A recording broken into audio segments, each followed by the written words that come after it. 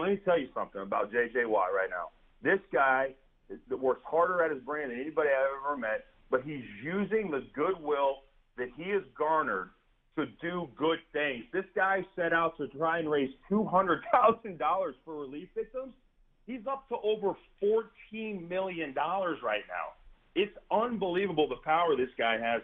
And not only J.J. Watt, though, DA, so many other people. Leslie Alexander for the Rockets has donated $10 million. Chris Paul, $50,000. Dikembe Mutombo, $50,000. Titans owner Amy Strunk has donated a million dollars. Bob McNair's donated a million dollars to assist in the relief efforts.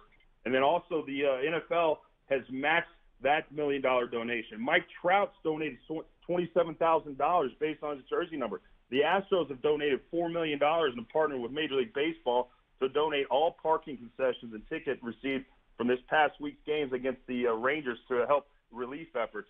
I mean, on and on and on. A lot of athletes from around the country here and locally are have gone above and beyond. I think the job description day as far as helping, but it all starts with J.J. Watt. This guy is a, the best football player I've ever seen, but he looks like he might be one of the best fundraisers I've ever seen too, man. It's pretty remarkable. It's outrageous. I mean, $14 million is just an outrageous amount of money to raise individually. But I got to ask you, you played with Tom Brady. J.J. Watt's the greatest player you've ever seen?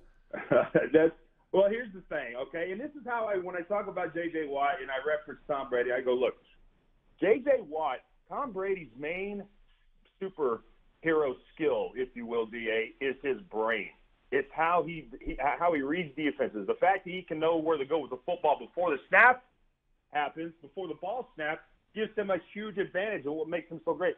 J.J. Watt has to think his way throughout a game too. You know, not only is he a physically dominant, athletic super freak, he also uses his brain because he lines up on the left, he lines up on the right, he lines up inside, he lines up outside.